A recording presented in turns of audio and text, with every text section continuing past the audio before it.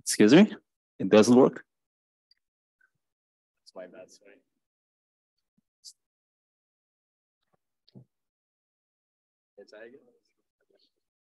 Thanks. Okay.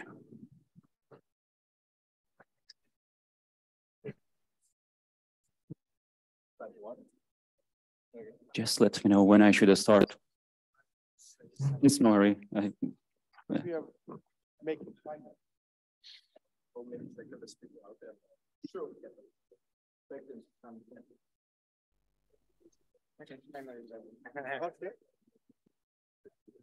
Wow.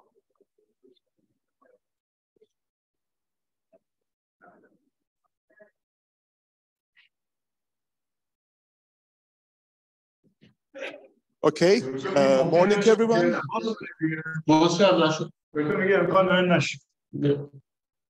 Sure.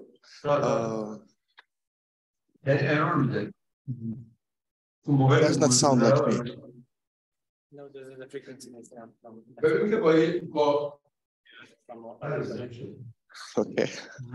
So what should we do? Nothing. Uh, nothing. Okay. So, uh, once again, morning, everyone. Welcome to the first session of the day.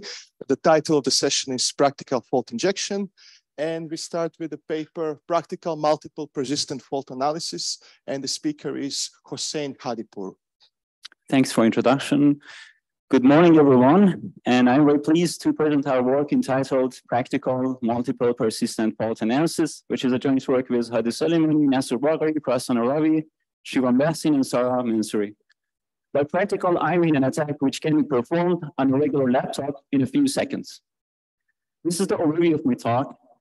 I will first give a brief overview on a PFA fault attack and point to the research gap in this direction that we filled in this work and next, I will introduce our new framework for PFA with multiple faults and introduce a generic key recovery framework which goes deep into the decryption and exploit the fault leakage until the first round of decryption to retrieve the, the master key.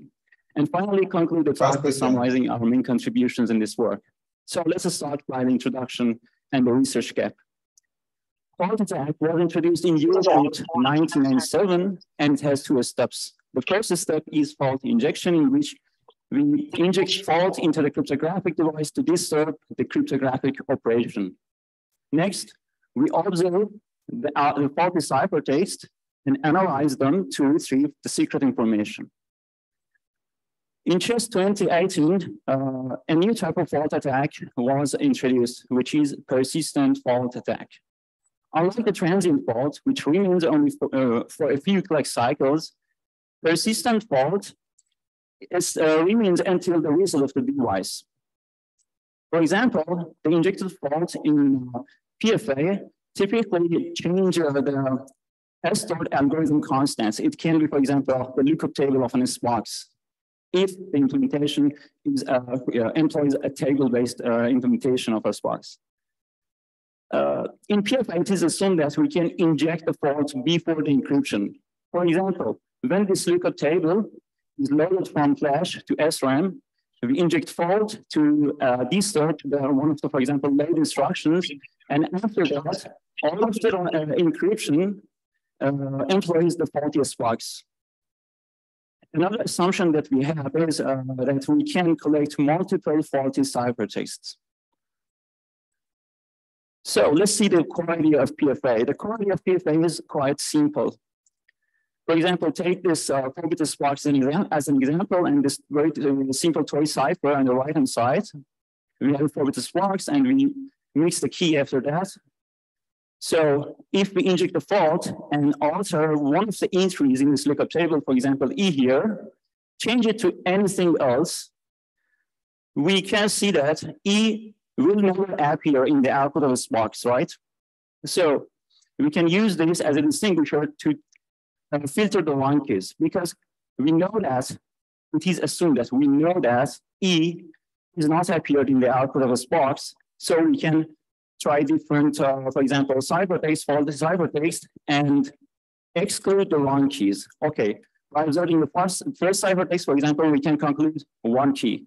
And if we have sufficiently large number of ciphertext and only single fault, we can uniquely retrieve the key by excluding all of the wrong keys. The search space is just uh, one byte because we can do the attack byte by byte.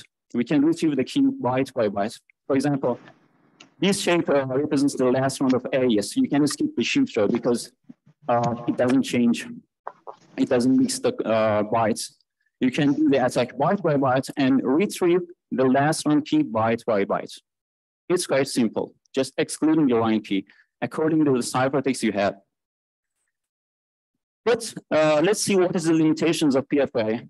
This uh, figure represents one of the basic limitations very well. Uh, the horizontal uh, axis of this figure represents the number of faulty ciphertexts that we have as an attacker. And the vertical axis represents the entropy of the key after fault analysis. Then there is only one single fault. Lambda represents the number of faults. When the number of faults is one, you can see that we can uh, uniquely insert the key. If we have sufficiently large number of ciphertexts, for example, more than 2000 faulty ciphertexts. But the problem is for multiple faults. When we have multiple faults, for example, uh, the entropy of the key for two faults is 57. It means that after fault analysis, you are left with two to the 57 key candidates for the last round key. You know that uh, the key length of this is 56, right? So retrieving the correct key, even if you have access to a correct plain ciphertext, is uh, even harder than brute forcing the key space of DES. Re uh, remember that I told you we want to achieve a practical attack, which can be performed on a regular laptop in a few seconds, but it's not practical. So this is the research gap. Let's, uh, let me summarize the main intentions of PFA. First of all, in PFA, there is a basic assumption, which is knowing the location of the fault. For example, in BSS box, we assume that we know fault is injected on E and it is excluded E. What? It's just an assumption. It is not necessarily hold uh, in practice. Uh, for multiple fault injection, uh, we are left with multiple key candidates after the fault analysis, right? If the number of uh, faults is more than one. So the question is that, uh, what if we don't have access to a plain text and its corresponding correct, correct ciphertext? Because we, uh, it is assumed that we have access only to the faulty ciphertext. How we can retrieve the master key? We have a reference. Another limitation is that PFA only exploits the fault leakage in the last round. It doesn't go deep into the decryption and exploit the fault leakage because if the, uh, the implementation is a table-based implementation, and if you inject the faults into the lookup table, all of the encryption rounds employ the faulty S-box but we are only exploiting the last round, a fault injection in the last round. It is another limitation. I should mention that uh, in 2021, an enhanced version of PFA, which is ePFA, was proposed to resolve one of, one of these limitations, which is exploiting, for example, the fault leakage in multiple rounds.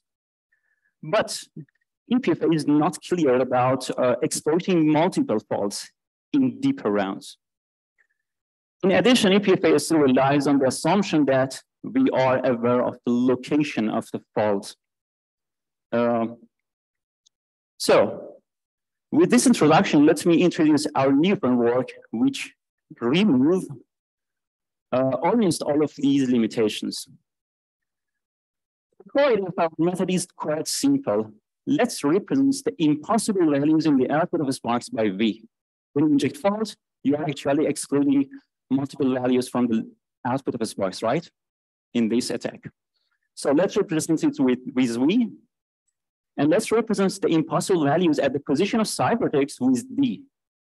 So if we do the attack byte by byte, for example, DI represents the impossible values in the ith byte of ciphertext. And as an attacker, you can uh, retrieve or drive D very uh, easily because You just observe the output ciphertext and uh, drive the impossible values. So another simple relation is the, uh, the relation between D and V. You can see that D is equal to V plus K, Ki, and equivalently, V is equal to K0, for example, plus D0. If you combine these two simple relations, you have this uh, relation, which is actually help us to transform the difference between these sets to difference between keys, key bytes. And as you can see, delta, for example, represents the difference between K0 and Ki. Delta I represents the difference between K0 and Ki. And at the same time, delta I is the difference between D0 and Di.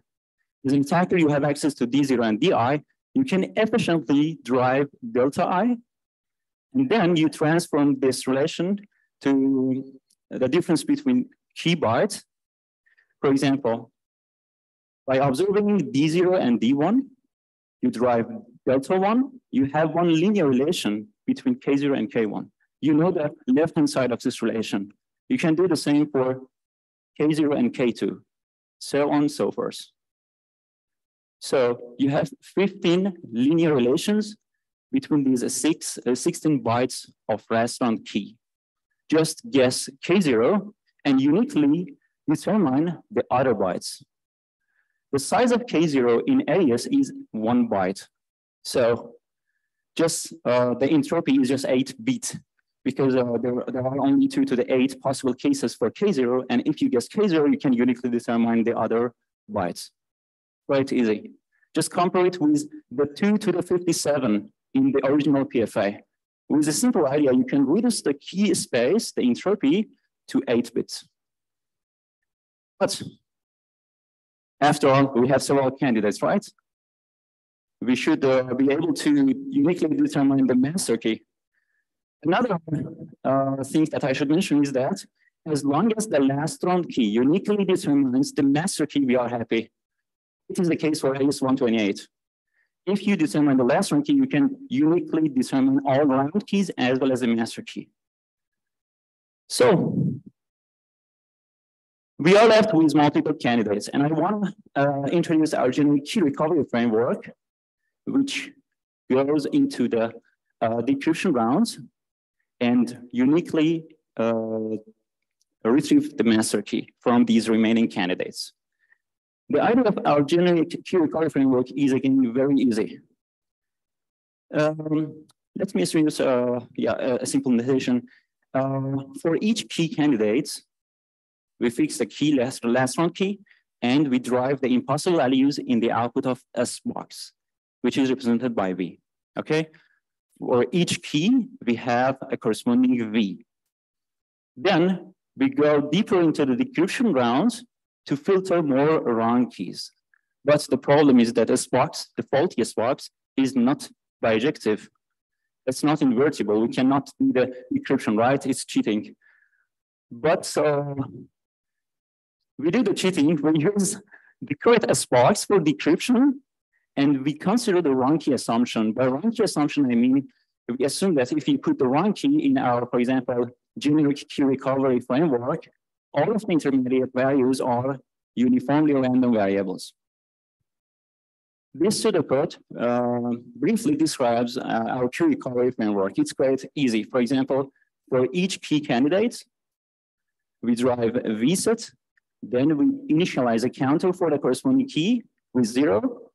And for each ciphertext that we have, we start to do the decryption until the first round and check one thing we check um, the output of S box in each round.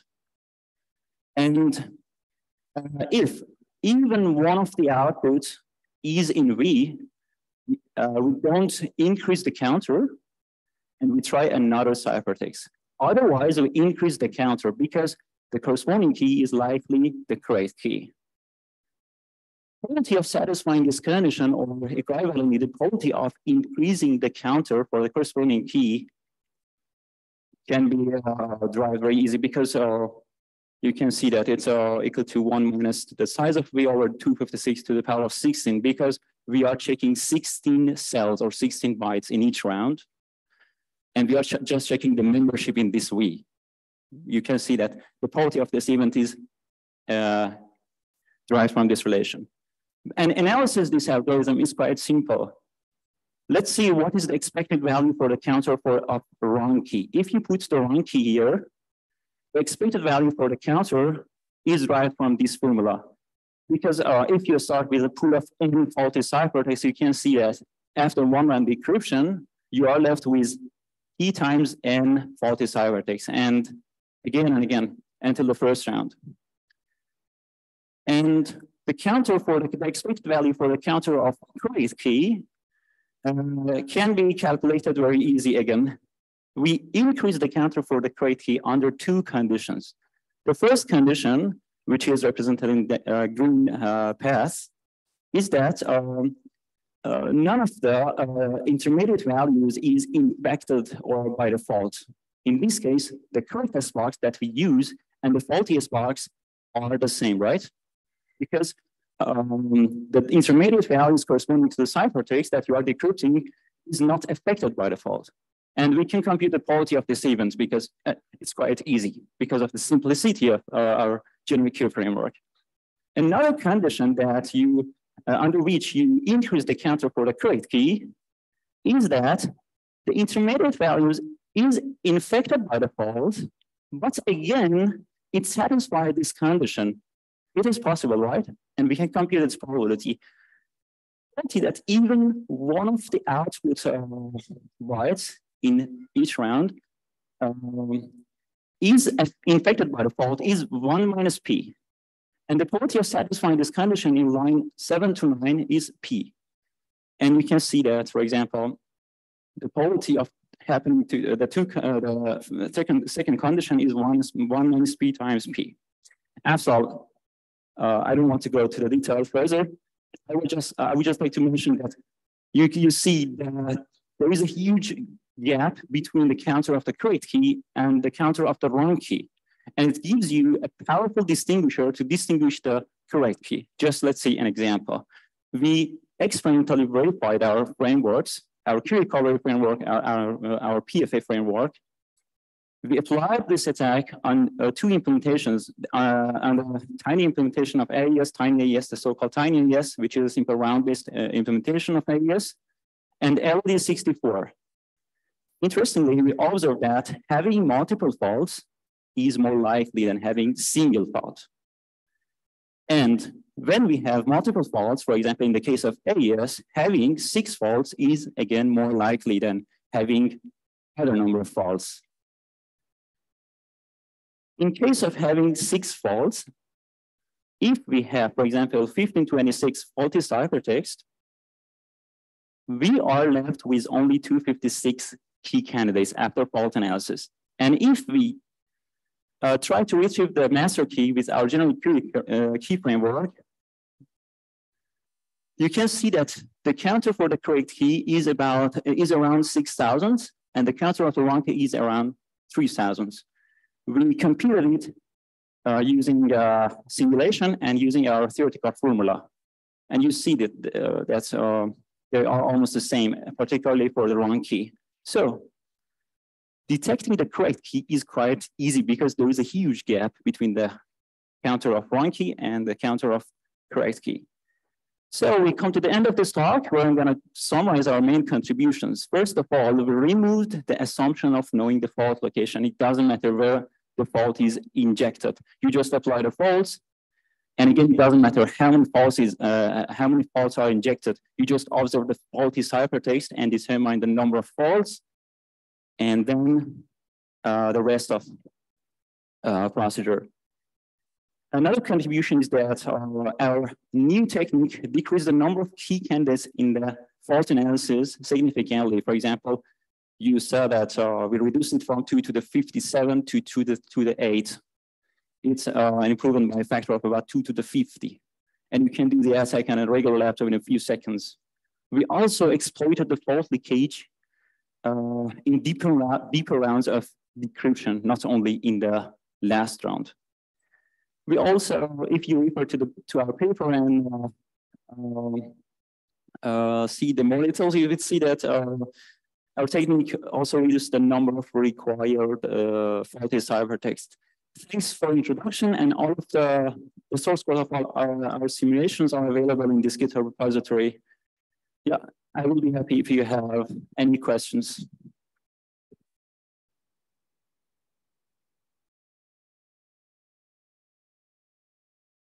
Thank you. So we have time for, for short questions. Uh, anyone?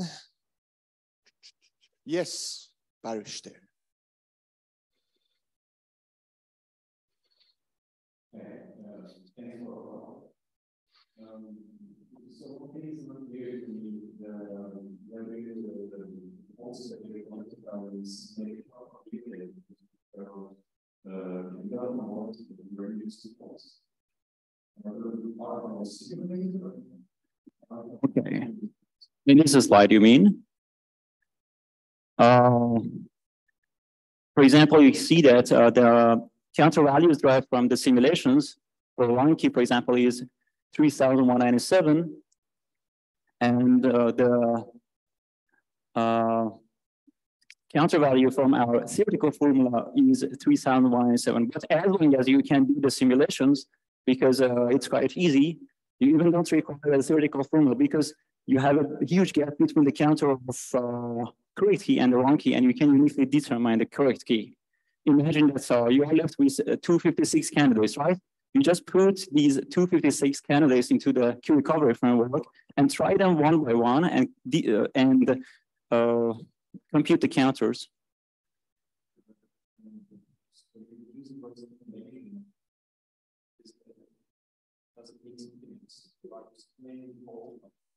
Uh, in our simulations, we just, uh, uh, for example, uh, uh, we performed, we implemented the algorithm, for example, on one of the ARM microcontrollers family.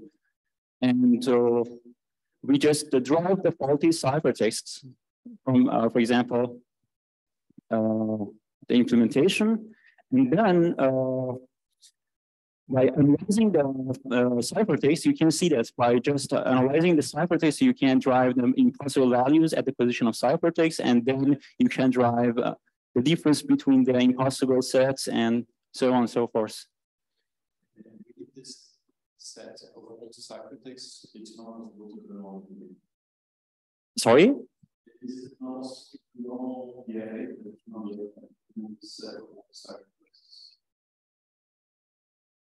In, uh, in, in the original PFA, as you can see in this slide, or in DFA, yeah, you require less faulty ciphertext.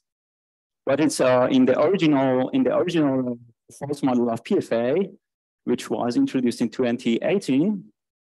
Just let me switch to this slide. Yeah, it is assumed that we have access to multiple ciphertexts, something around 2000. Yeah, it's the fault model. You require multiple ciphertexts compared to the DFA. Thanks. I hope I answered your question. I'm not sure. Thanks for your question. Very short question from the uh, from chat. Did you test on mass data? No, it's just implementation on a simple round base of AES. Okay, yeah. thank you. Thank, thank you. Again. Ah, let's do this offline because we are already late.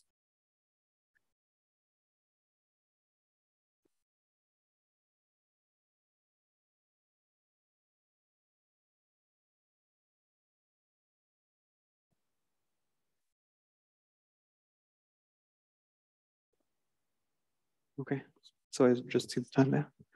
All right. Thank you.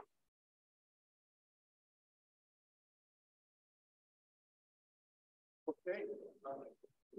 Second talk is beware of insufficient redundancy, experimental evaluation of code-based fault injection countermeasures. And the speaker is Sven Bettendorf. Yes. Hello, everyone. My name is Sven. Um, thank you for the introduction. And I'm, I'm going to present the work um, Beware of Insufficient Redundancy.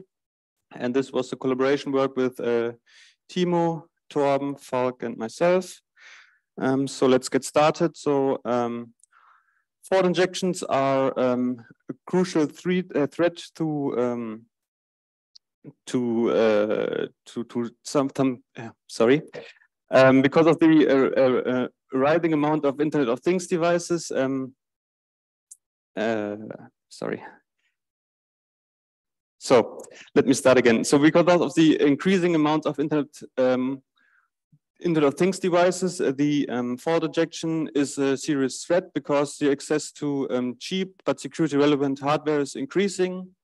And um, right now there are different um, attacks um, already published like differential fault analysis or statistic fault analysis. And uh, right now the common countermeasures are sensors and, and some kind of duplication. So nothing too special. Um, next up, we looked at the at the newer um, countermeasure. It's called impeccable circuits, and this is based on error detection codes.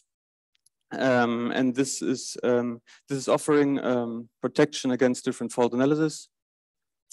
And during our work, they published an, an add-on to their work, and where they also claim security against um, SIFA. So this is based on concurrent error detection this means every um, fault is um, recognized on the fly. And the special part about it is that the fault propagation is also, also taken into account um, when building the countermeasures. Um, and as always, the security on the countermeasure is relying on the um, underlying adv adversary model. Um, and as stated in the paper, it guarantees the detection of any fault in the circuit if it's covered by the EDC. So our question was how hard it is to overcome these assumptions and to introduce faults that uh, lead to a faulty output. So in the, in the paper, they introduced three different variants, um, the red one, red three, and red four. Um, and the red one is uh, like a simple parity bit. This is a one bit security per nibble. And this guarantees every that every one bit fault is detected. The red 3 variant is the Hamming code. This is a 3-bit redundancy per nibble, and the red 4 is the extended Hamming code. So the, the best one is the red 4 variant, where it guaranteed that every 3-bit fault is detected. And they also um, added an add-on that is the multivariate adversary model. Um, in this model, every fault. So there are, this is possible that they inject faults at multiple clock cycles. So in, without the multivariate, um, only one fault injection at one special clock cycle is possible. And with the multivariate model, um, there is every fault at every possible clock cycle is detected. So in the example of red four, um, three bit faults are detected even if you hit on two different clock cycles. So now a little overview of the schematic. Um, here is the schematic for the red one and red three variant, where uh, on the left side is the normal um, skinny algorithm. So we used skinny in, in our experiment. Um, and on the right side, there is the, the redundant part. Um, and the S box, uh, not the S box, the function S on top is transforming the 64 um, input into the to the code um, domain. And for the red one, this would be 16-bit. And for a red three, this would be 48-bit. And as you can see, um, there is a checkpoint um, in every round after or before applying the, the subcells.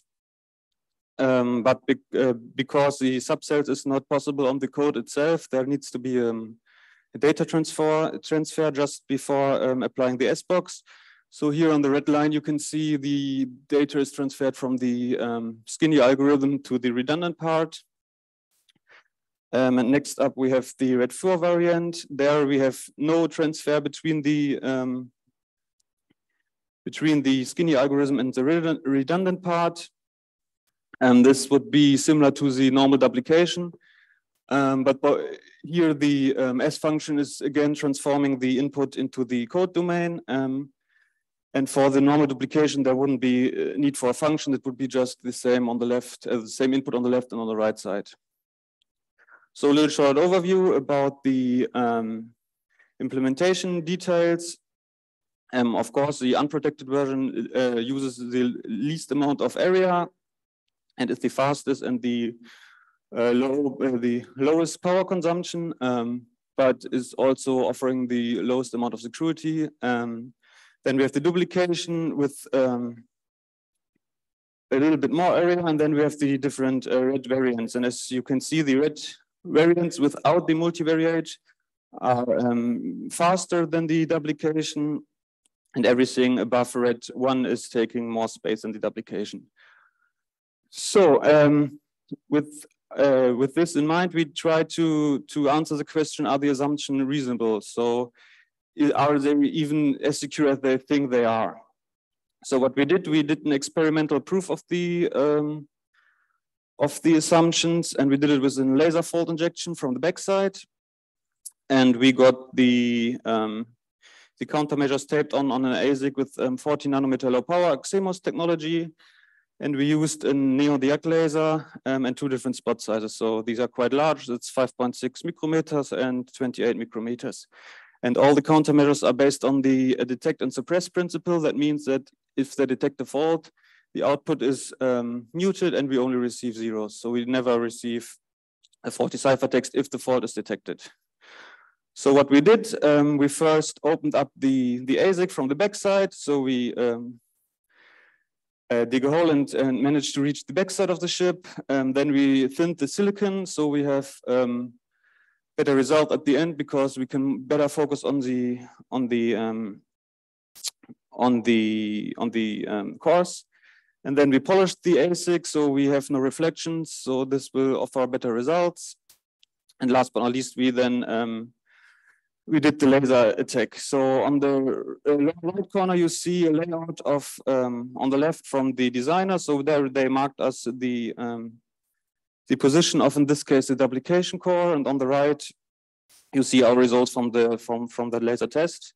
So as you can see, we have um, the areas are kind of identical. So we so we um, so we see we we are on the right track. So we actually focus on the area that matched the layout.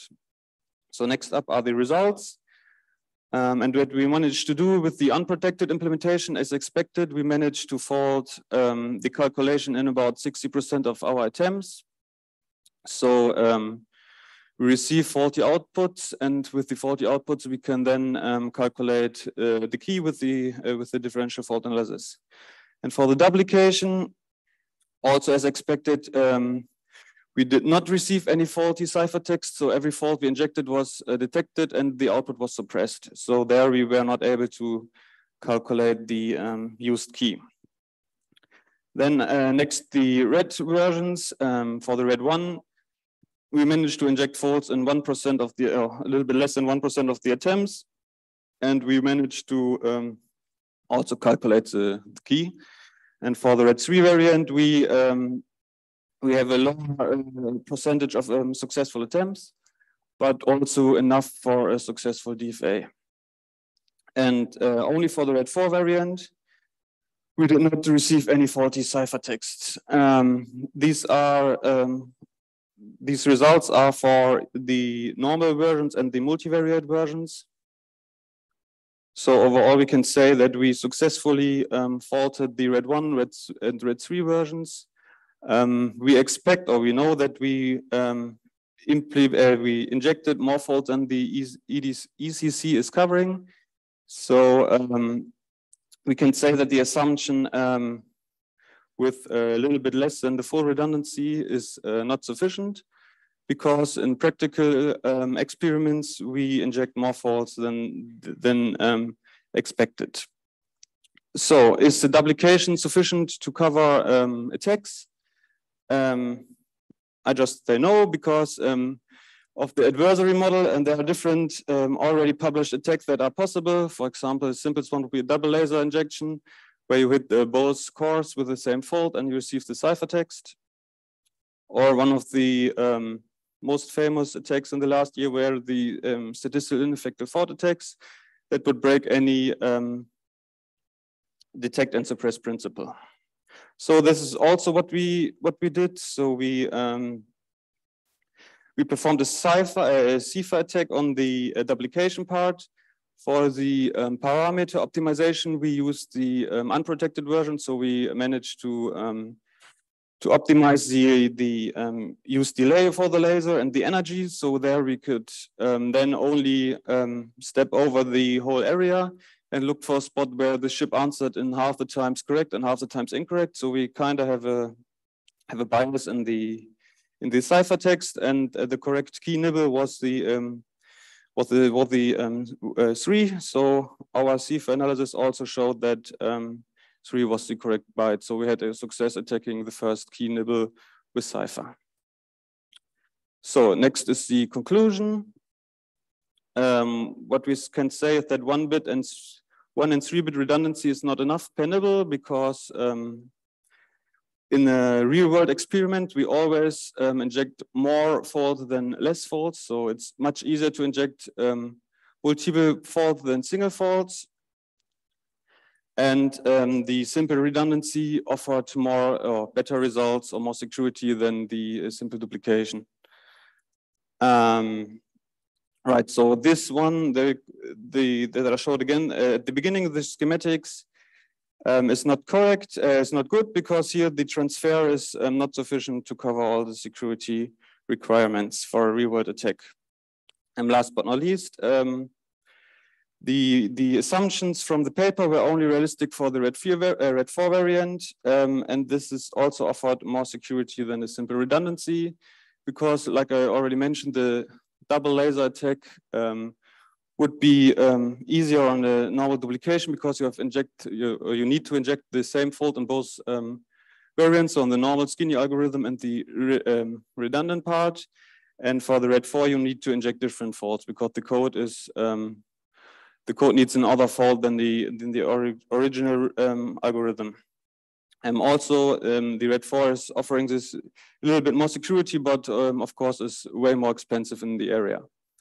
Um, so what I would like you to, to take away from this um, presentation is that um, the importance of verify, verifying the assumption and hypothesis um, are very important to, to verify in a, in a real world scenario because um, a lot of um, security proofs are only theoretically and um, then can be broken in a real world experiment.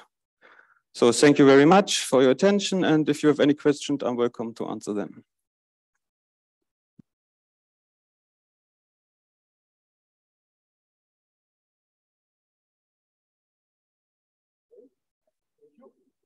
A lot of time for questions. So, yes.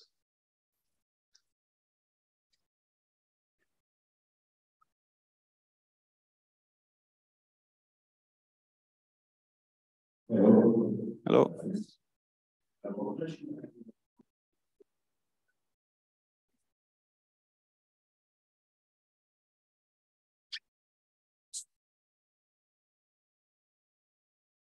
Sorry, I don't, I don't get it. Yes. Yeah, we use two different sizes. One time the 5.6 micrometers, on the other side the 28 micrometers. So in the overview, you see the results for both uh, laser spot sizes. So larger ones or smaller ones? Um, we did not try because um, we already had success, and we we, made, we so we tried one uh, smaller size um, where the results are similar. So we just stick with them. But probably with the larger spot size, we, we would inject even more faults.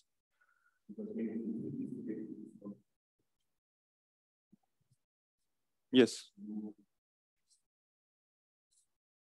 Yeah, but it's four per, per nibble, so we have to to fault multiple of four. So four, eight, yeah. 12, every bit in between will be detected. Yes. Thanks. Martin.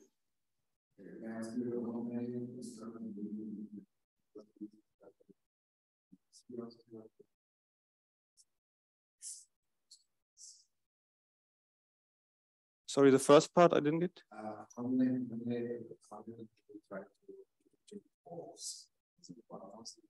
no, around 100,000 or 150,000 per, per core. Ciao.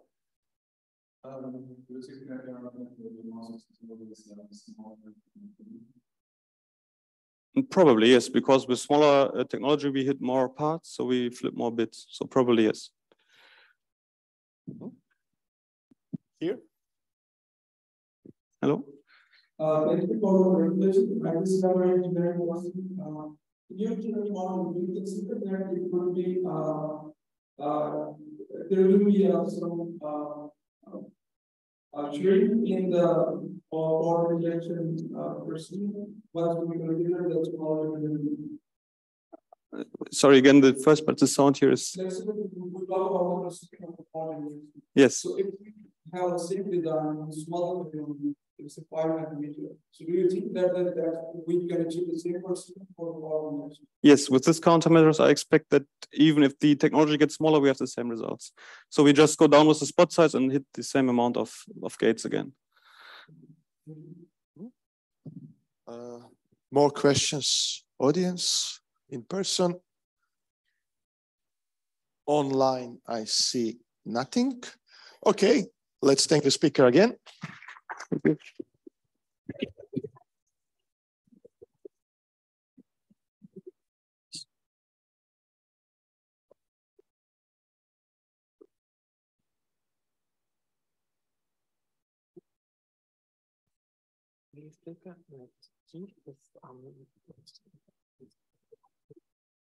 The third speaker of the session is Jeroen Delvaux.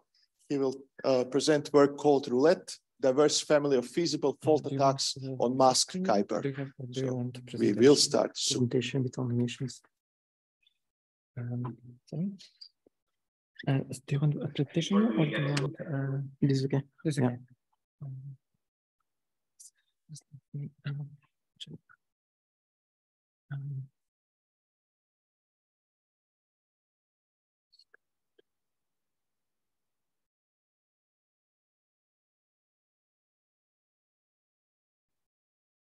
Thank you for the introduction. Our target is Kyber. Uh,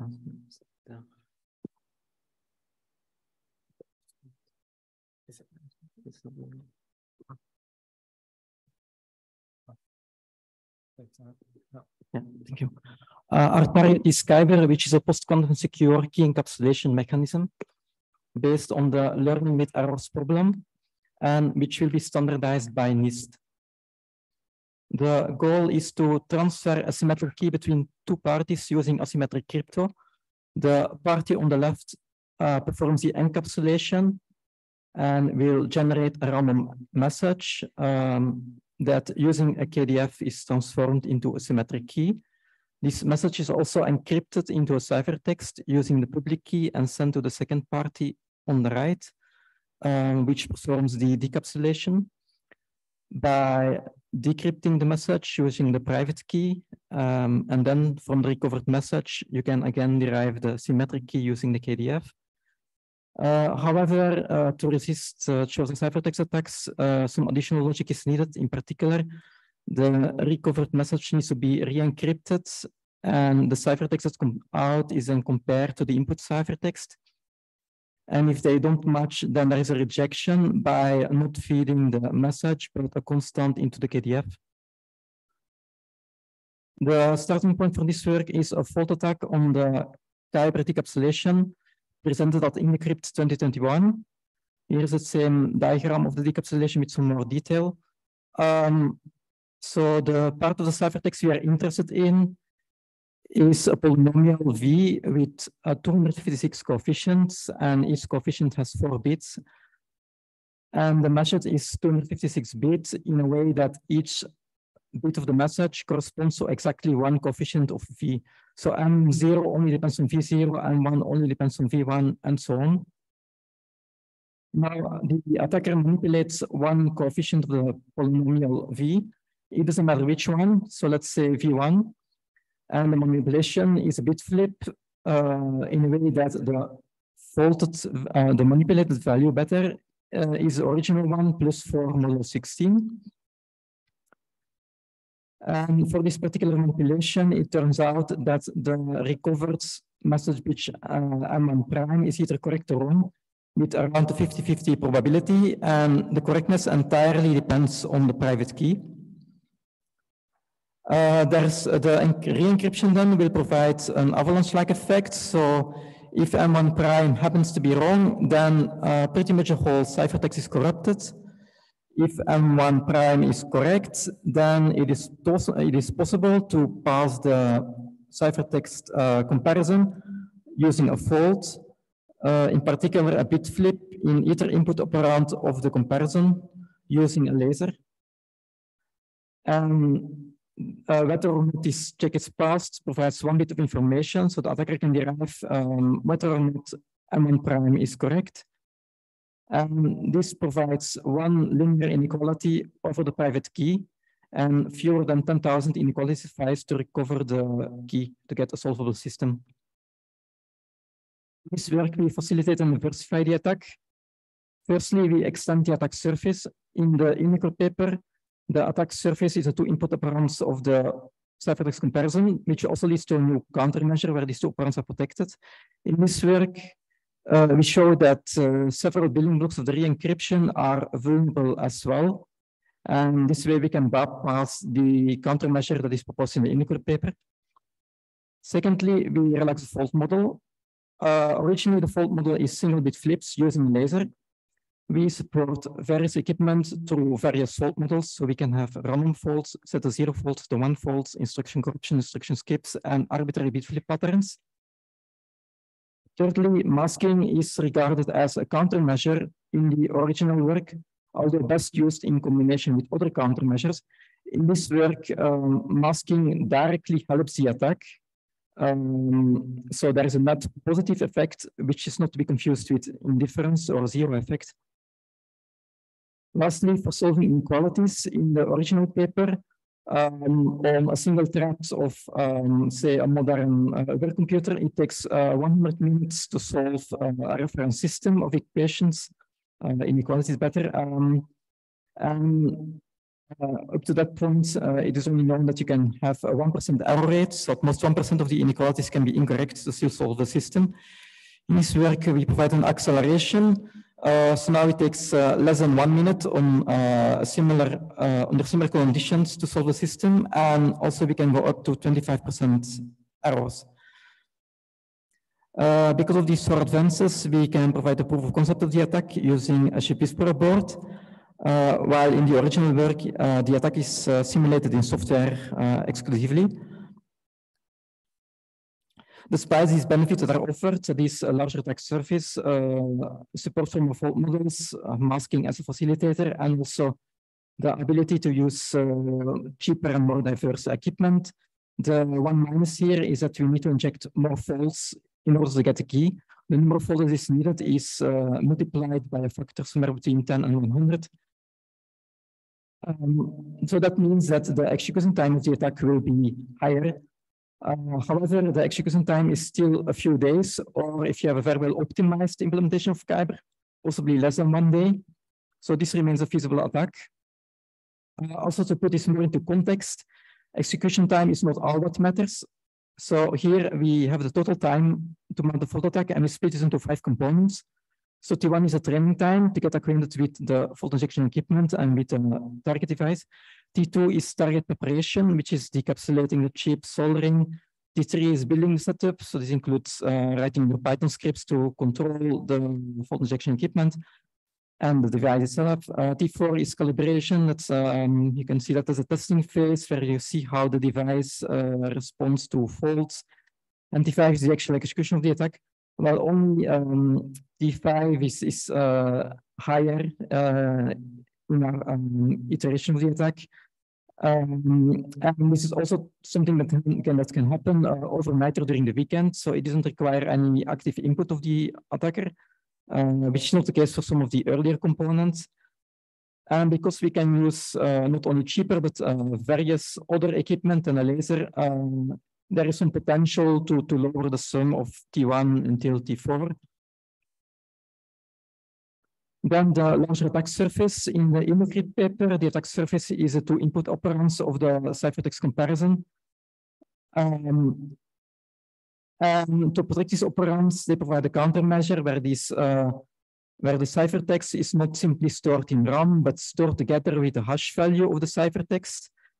Uh, and then also compare this way. However, this countermeasure is imperfect because if, if you inject a fault before the hash value is taken, you can bypass it, and that's uh, exactly what we do. We look at all the components that lead up to this uh, ciphertext coefficient. That is a compression, that is a Barrett reduction, that is an addition, that is a decompression, that is error sampling from a central binomial distribution, and that are also butterflies in the last layer of an inverse numeric transform. So we can inject a fault early on in any of these building blocks. Um, so here we assume it is a decompression. And if this fault is, uh, if the faulted value is somewhat uniformly distributed on the prime field, then because of the propagation properties of the algorithm, the ciphertext coefficient will also be somewhat uniformly distributed on 0 to 15. And because there are only 16 possible values, it's not going to take very long until eventually you will hit the same value as on the left on the slide for the INDOCRYPT paper. Um, say if you do 20 attempts, there is already a good chance that you have it. And this way we can bypass the countermeasure. The analogy we make in the paper that is also um, from which the title is also derived is, is a roulette wheel. So we have a roulette wheel with 16 bins and with every fault you will spin the wheel. And eventually, um, by pure luck, you will um, hit the one value that you want.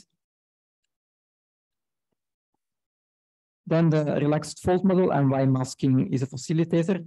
In the INDOCRYPT paper, the fault model is single bit flips using laser. In this work, we support various fault models.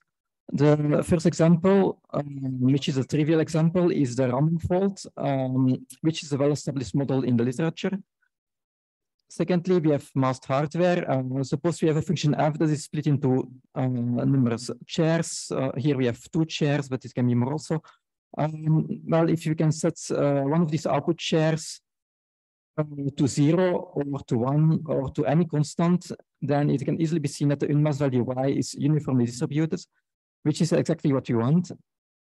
A third example is masked software. Again, we have a function f that is split into shares.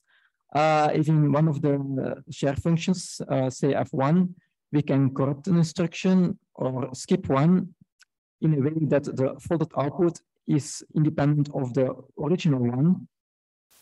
Um, well then, uh, again, it can be seen that the unmasked value y is uniform. In the paper, there are, uh, there are more examples using bit flips, uh, not here because of time. Uh, the main message is that because we have more fault models, we can also use more equipment. Uh, we can do things like clock glitching, voltage glitching, electromagnetic fault injection. Besides using a laser, we can still do that. Then solving the system of linear inequalities, uh, which may look uh, which may look uh, like this, at least for one version of Kyber. Um, so the number of we have system A x plus b, uh, x are the unknowns, and there are uh, 1,536 unknowns. That are all integers between uh, minus two and two, and then we have 7,000 or more inequalities, and for each row or inequality, we know the sign, we know it is greater than or equal to zero if you have a decapsulation failure, and we know it is smaller than zero if you have decapsulation success. Um, in previous papers, I solved this using belief propagation, which is an iterative algorithm.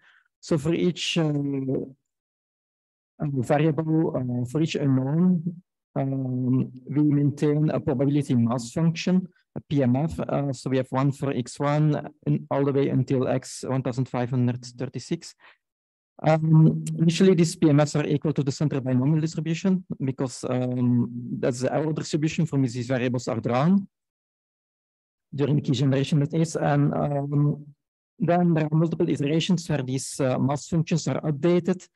And eventually they will start to look like point distributions that hopefully point out what exactly the um, secret is.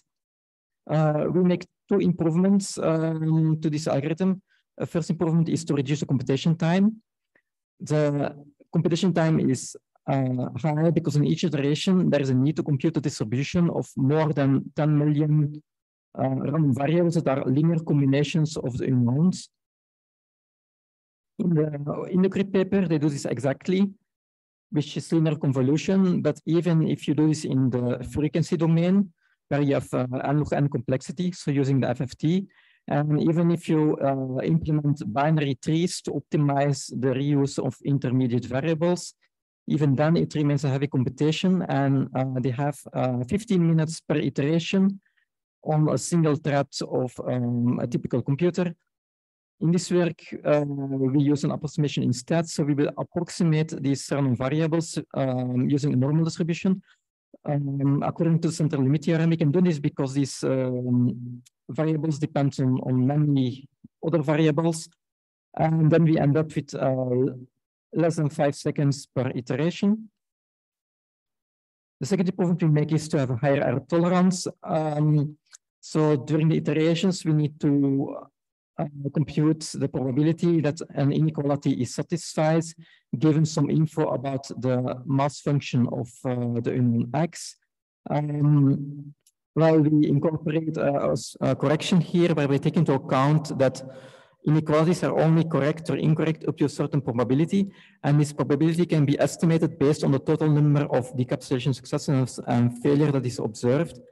So normally it should be 50-50, but if you see something else, if you see like 70-30 um, or 80-20, then you know that there is a certain error rate there, and you can estimate this error rate based on the numbers you have. Uh, here's a plot for uh, this for uh, faults simulated in software, so we can exactly um, have the exact error rate that we want. Um, on the horizontal axis, we have the number of inequalities, and vertically, we have the success probability for correctly guessing uh, an unknown.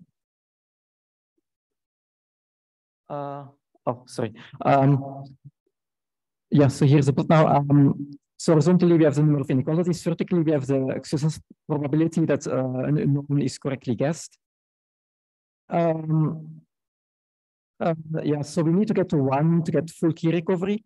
The leftmost curve, the one in blue, uh, that is with a 0% error rate. So there we need less than 10,000 inequalities to uh, get a key, which is in line with uh, previous work. And if you have 25% error rate, that is a curve in green, then we can still solve the system using 30,000 inequalities.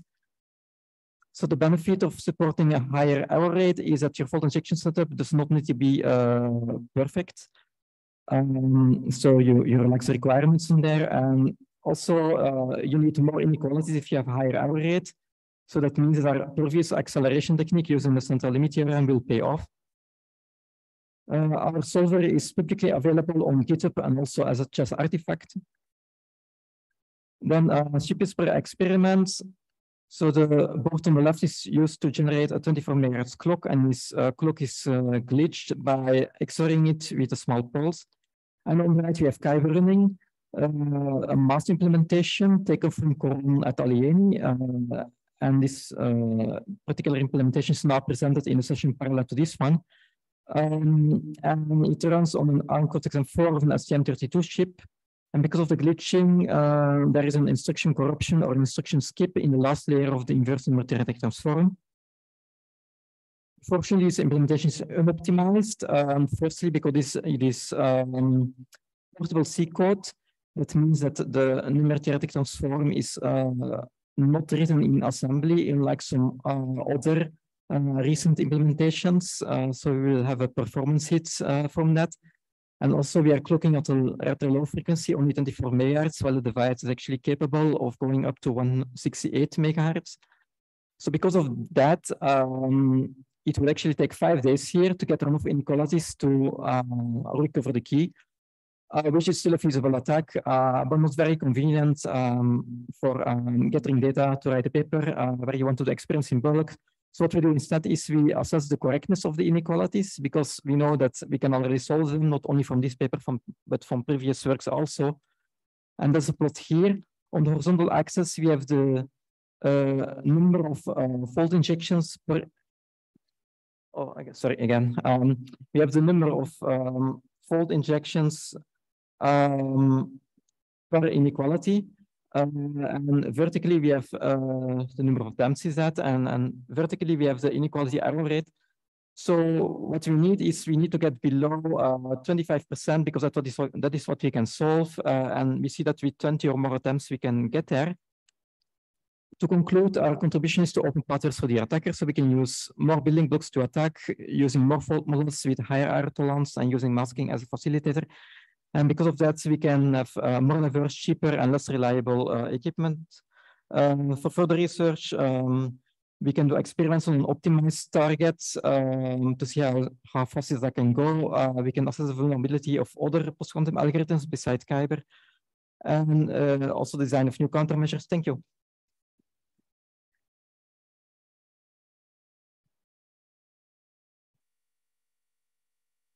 Questions?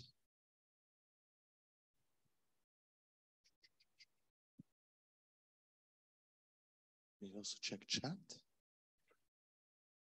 Okay, so let, let me ask uh, first question. So um, uh, when you say for future research uh, uh, vulnerability of other algorithms, do you have any suggestions where to start? I mean, are there algorithms that would be better fit for this attack or?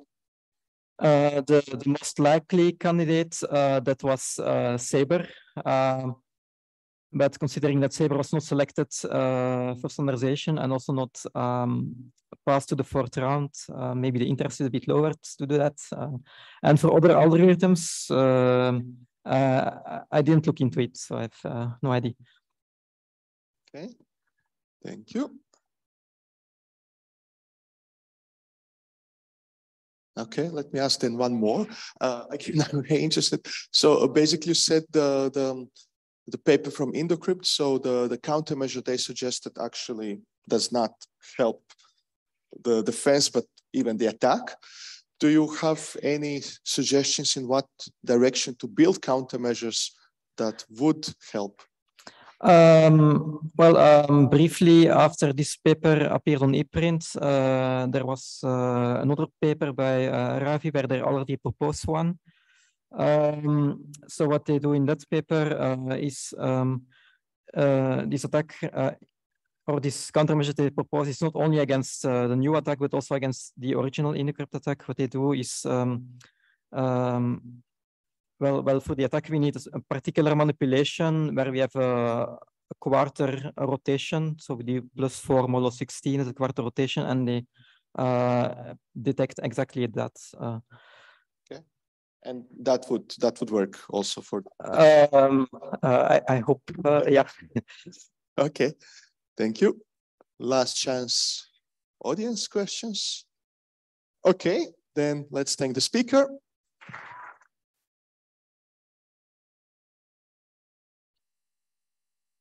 And we are now the last talk of the, yes, you will. Okay, because I saw two. Yeah. Maximilian, okay. So this is double, uh, double uh, uh, talk. So both Bode and Maximilian will, uh, will present in, in some way or other, let's see. And the title of the work is on the application of two photon absorption for laser uh, fault injection attacks. So maybe uh, one can use that microphone and then you just use the other one to, to make it more efficient.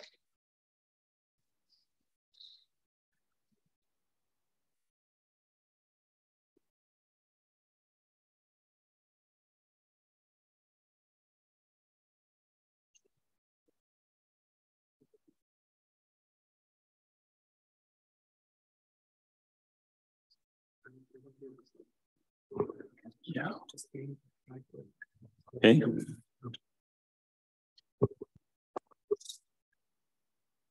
Uh, okay, I think I can be heard. Yeah, um, I will give this talk together uh, with my colleague Maximilian um, from the TUM chair for laser and X-ray physics. I'm Bodo Selmke from the Fraunhofer AISEC. And yeah, the previous talks were more about um, how to exploit faults. This talk will be um, on the fault injection process um, itself, so how we can inject um, faults by laser-based fault injection.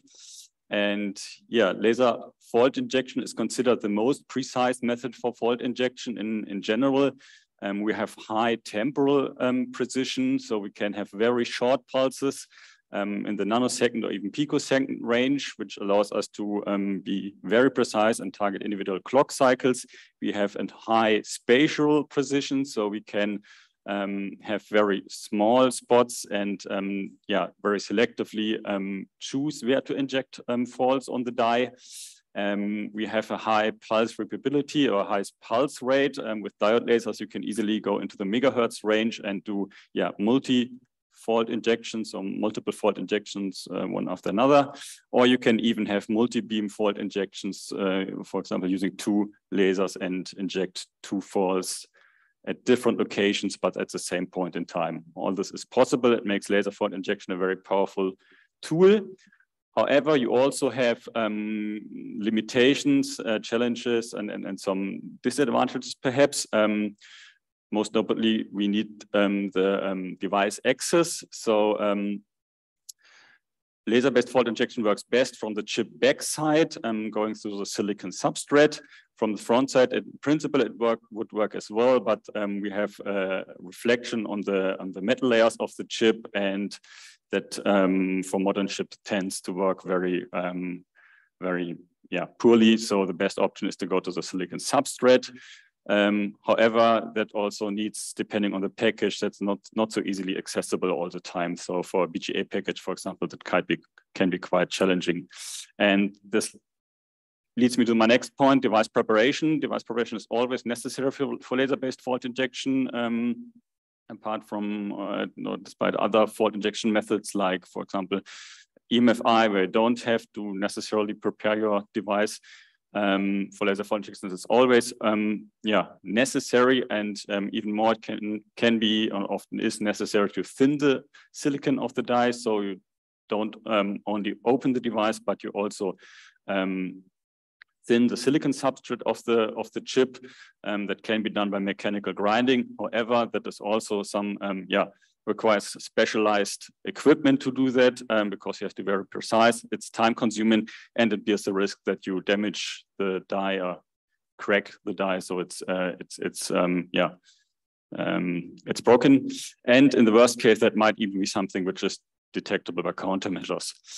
And last but not least, um, so laser fault injection is the most precise method. It's um, also has its limits uh, there. Um, the spot size is mainly limited by the wavelength of the laser.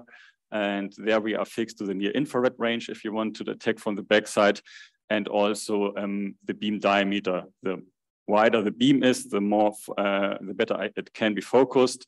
But there I just have practical limits from the objective lens, which I can use. So in the end, that gives me spot sizes around one micrometer, that's the best what is achievable state of the art technology. And with that, you can, for example, with the 90 nanometer technology node, um, have very precise faults and a high control over that. So I can even control if I want to do bit sets, bit resets, that's possible, but um, that doesn't scale any further than that. So on smaller technology nodes, for example, 10 nanometers, that won't be possible anymore. So that raises the question, um, can we do, do better than that? Um, can we have better precision? Can we have um, lower requirements perhaps on the device preparation and perhaps even something which is harder to detect? And the answer is yes, otherwise we won't be standing here. and um, yeah, my colleague um, Maximilian will then now explain the, the physics behind that.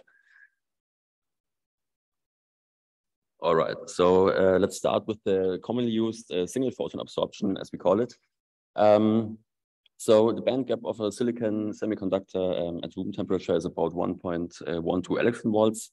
Therefore, we need photon energies um, above this uh, band gap energy or wavelength uh, below 1110 nanometers for the excitation of an electron um, from the valence band into the conduction band. And as a result, um, a fault um, can be triggered.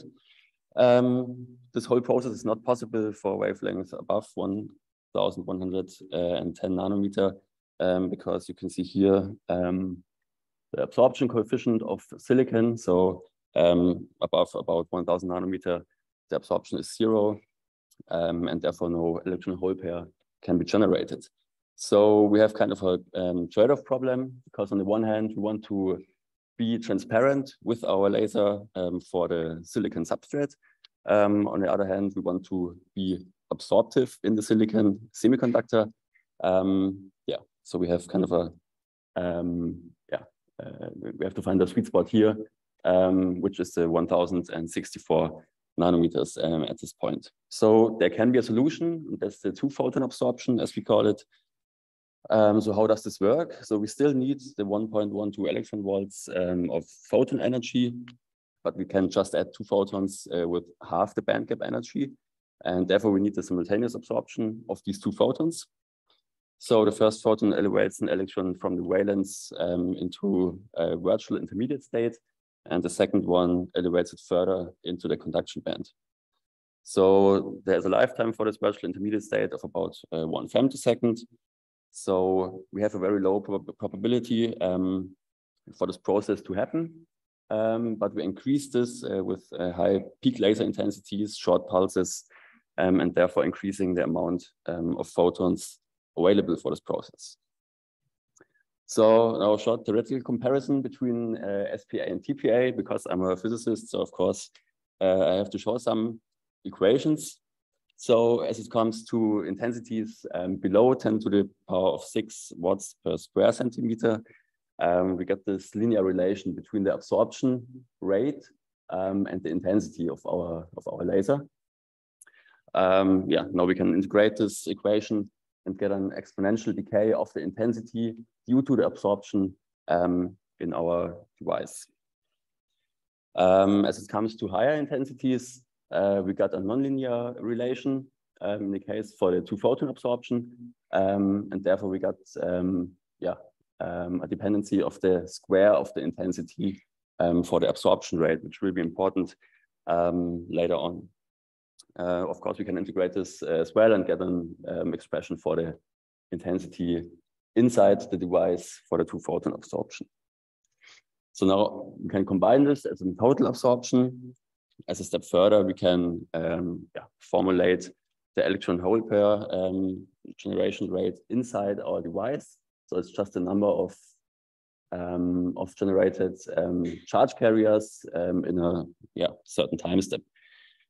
Um, as I told you in our experiments, we only focused on the two photon absorption. That's why we can neglect um, this contribution here. Um, and so we can theoretically formulate um, the number of the generated um, um, charge carriers in our device. And again, this is a very highly nonlinear process and only valid for very high intensities and ultra short laser pulses in the range of um, femtoseconds. So while we are doing all these considerations and uh, the, the, theory, um, because we found some benefits of the two photon absorption uh, compared to the single photon absorption. Uh, the first one is the transparency um, of the silicon.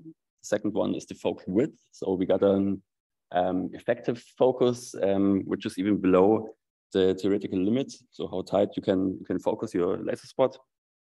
And uh, as a result, we get a selective excitation um, referred to the depth um, of the material. So to make this uh, more visual, these benefits, uh, we did a small simulation. We just used the equations um, I showed you before and put in our laser parameters. Um, so you can see here on the right um, the, the simulation of the charge carrier density inside our device um, for the wavelength of 800, um, 1064, and 2000 nanometers. So commonly used uh, single photon absorption setup and our new um, approach with the two photon um, absorption. So it's kind of a top view on the on the device, and we are taking here from the from the bottom um, inside the chip. So the first advantage, as I told you, is the transparency. Therefore, we can compare um, 800 nanometer and the 2000 nanometer. So we see here, um, we have a lot of absorption at the air silicon uh, interface um, at the entrance of the, of the chip. So we don't even reach our, our target um, plane at 70 micrometers. So that's where uh, we want to, to attack inside the chip um, because of the absorption um, of the silicon. For 2000 nanometers, so for our um, two photon absorption, we get a perfectly located spot at the at the target area. Um, yeah, because there's no absorption um, um, of the silicon, we we have here no uh, no intensity losses um, at all. Um, this is beneficial because we don't need to, to thin our substrate or to remove the silicon uh, substrate. Therefore, we have no risk, uh, no risk of uh, loss or damage due to thermal effects because of the absorption um, yeah, or through the, thinning, the thinning process. Um, the second benefit um, is the focal width. So as you can see here in figure C and, and D, for the commonly used um, SPA uh, setup, so um, we got six times more charge carriers uh, than for two photon absorption. And yeah, we are generating kind of a, a current through the whole uh, chip, um, which can cause latch up and, and other um, effects. Um, for the 2000 nanometer here, um, because of this non-linearity inside the material, uh, we got a focal width, an effective focal width um, of about a factor of one over square root two smaller than for the um, single photon absorption. Um, and therefore we got our focal spot um, very symmetric and a localized excitation inside the device. So as a result, overall, we got the precise excitation. Um, again, in comparison in figure, figure A here, we got the single photon absorption for 1064 nanometers. So we got a broad range uh, where we excite um, charge carriers. Um, and in comparison, the two photon absorption here, very localized and sharp um, spot. So how we do this uh, in the experiment, so how we can realize this, as I told you, we need high intensities and very short um, laser pulses. Um, and we at our chair can provide such laser pulses, and that's why this whole project and the, the cooperation started. Um, yeah, so our laser system delivers uh, laser pulses with a wavelength around 700 nanometers um, and a pulse duration of five femtoseconds. So at first we have to keep these pulses as short as possible. So we have to compensate for dispersion. This is done by fused silica glass wedges. Um, another important um, component here in the setup um, is a chopper wheel and a shutter. So we have to reduce the pulse repetition rate from four kilohertz um, to single laser shots. Um, and another important uh, component here is the nonlinear crystal. So our laser system uh, delivers about 700 nanometers, but as we just learned, we need um, around 2000 nanometer um, infrared light for the two photon absorption. And that's why we have to generate um, this wavelength here um, in a nonlinear crystal. Um, yeah, so of course, in the end, we got our ob objective and, and the device under test. So here, in conclusion, uh, comparison between the, the parameters on the device um, compared um, to the regular single photon absorption setup. So the most important um, parameters are here the focal width. Um, so we got an official focal width uh, that is yeah, larger than for the SPA, but we have this effective um, nonlinear response of the material, which is uh, way more smaller than for the single photon absorption. And of course, the pulse duration with about 10 femtoseconds, um, again, 800 picoseconds. So now I hope uh, I could convince you on the on the benefits of the two photon absorption, at least on the theoretical side. But now Bodo will present our experimental findings. Yeah, I think I have to speed up a bit because we're pretty late on time. um, yeah, so we used um, this uh, um, this setup and our regular SPA setup, uh, which is shown here uh, to do a um, yeah some kind of comparison, which wasn't so easy in practice.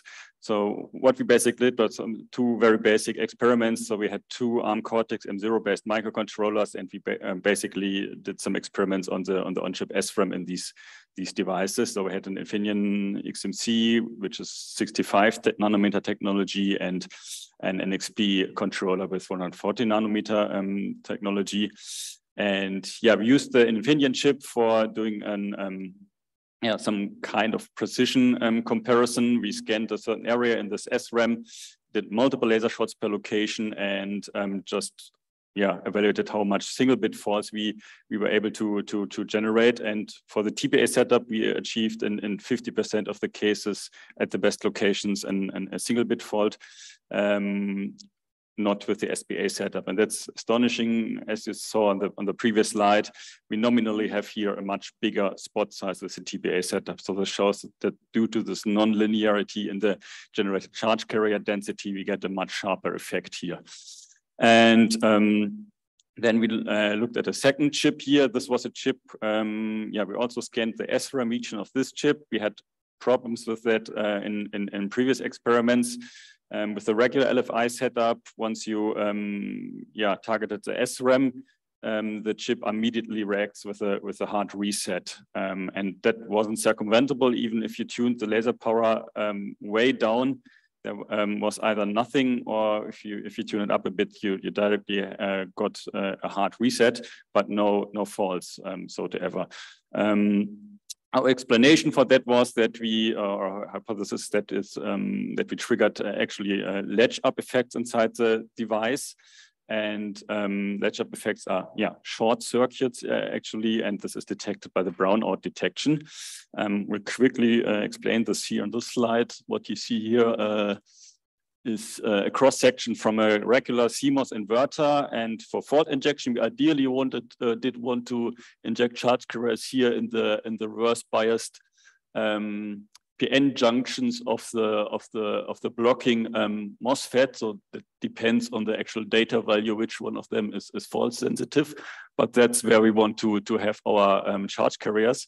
However, um, and there are also um, parasitic bipolar junction transistors in this uh, in the scheme, which I depicted here by this dashed line, and they form a circuit uh, circuitry which you can see here on the right. The problem with that is um, if we induce this um, photocurrent there, which is, is labeled red, um, yeah, we have a current flow through this um, resistor, which uh, results in a voltage drop, which will then open this transistor, allowing to flow current here. And um, this will then also open this transistor, allowing to current flow in here. And so this whole thing latches up there, the name comes from. And um, even if this photocurrent then vanishes, this thing, thing stays um, active and we have a short circuit basically, which is only resolvable by an, uh, um, yeah, reset of the device. That's the only way uh, to get out of that. And um, if that happens or not, how likely that is to happen largely depends on the exact chip technology. Um, for some, it's likely, for others, not so much. And so we repeated the whole experiment here with our TPA setup and looked at two locations in specific here. And the result which we saw was um, that we had no problems at all injecting faults um, here. And um, what you see is basically just an, a depiction of the number uh, of, of uh, uh, injected single bit faults. That's not so important actually. Um, our explanation for that is that um, that we um, yeah have drastically less charge carriers in the silicon substrate, and that's why this works. Um, yeah, in the paper we also discussed the, the impact on certain counter countermeasures. Where we had, might have slight um, uh, um, advantages for, for, for sensor-based countermeasures. For redundancy, it doesn't make a uh, difference. This is uh, quite obvious, I would say. Um, for something that most prominently light uh, detectors, for example, um, due to the sharper excitation of the of the material, it's, it's it will be easier to to to get um, yeah in the in the inject faults in the vicinity of those without triggering those. So, but um, for more details, you would have to look in the paper, I would say. So in conclusion, um, we, we have shown that the two, uh, two photon absorption um, actually has quite some nice um, advantages for um, laser-based fault injection. Um, we have very good charge carrier um, density only in the focal point. This means that we only uh, also don't um, have to bother with the silicon substrate thickness. And even our, um, so we, we have it, the, the spot is vertically um, um, located in, in, in, the silicon. Uh, it's also more narrow in the, in the, in the horizontal uh, distribution, meaning that we have a smaller effective spot size, which is uh, quite um, advantageous. And yeah, that can help us circumventing uh, certain um, countermeasures. And yeah, there's uh, further potential for more research uh, to, to do that. We were only able to do very limited results so far, but yeah, that will conclude the talk. And thank you for your attention.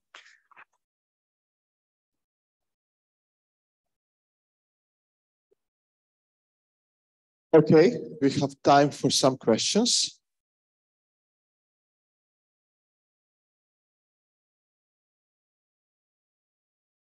Yes, Barish.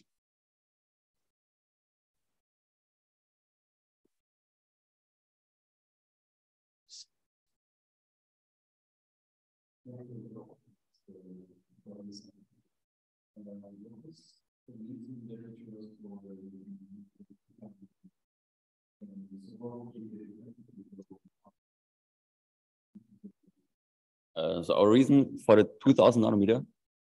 Um, Yeah. So we, we, we, thought simple. So with 1000 nanometer, you got uh, the perfect, uh, perfectly uh, energy for the, for the band gap.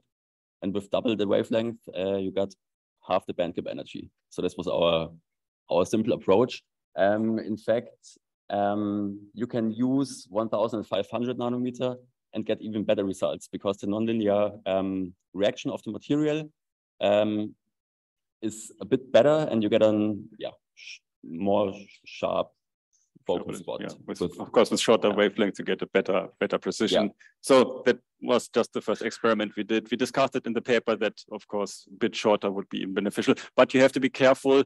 In our experiment, we also took care that we um, only had the two photon absorption effects. So we wanted to stay out of the of the of everything below 1000 um, so to say otherwise we have a superposition superposition of both effects and um, you also have to, to to to bear in mind that was seen on on one of the slides the, the, the width of the spectrum um, you can't do that arbitrarily small that is just because um, there's a physical relation behind that. The shorter your pulse is and we have really short pulses here the broader it gets in the spectrum. So you can't have both. And um, I can't give you the exact numbers for 10 femtoseconds, how uh, sharp you can do it in the spectrum. Um, a bit better probably than that, but um, yeah. Yes, one more. There behind you.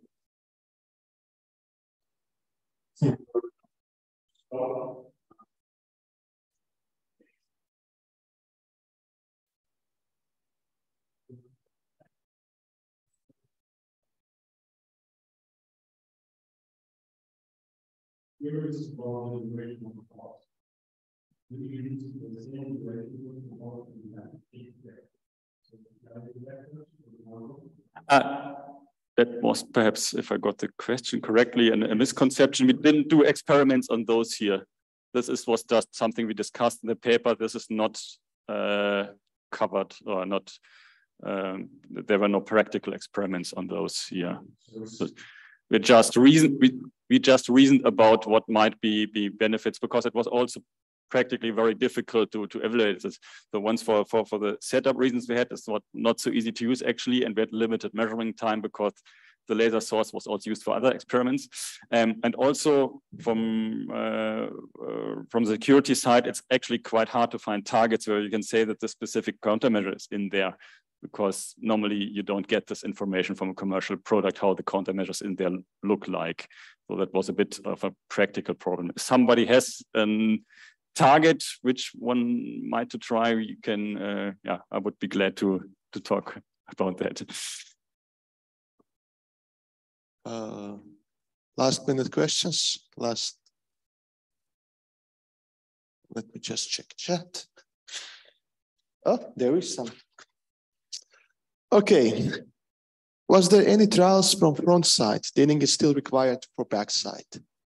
Uh, sorry, something about front side. Was there any trials from front side? Uh, no.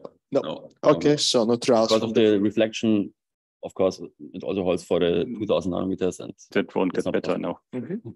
And is thinning still required for backside? uh, no. No. Okay, cool. Thank you. Okay, let's bring the speaker. Speaker.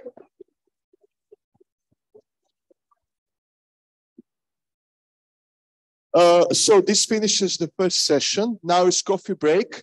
One important announcement. There is a lot of posters outside. So use the opportunity and check some of the posters.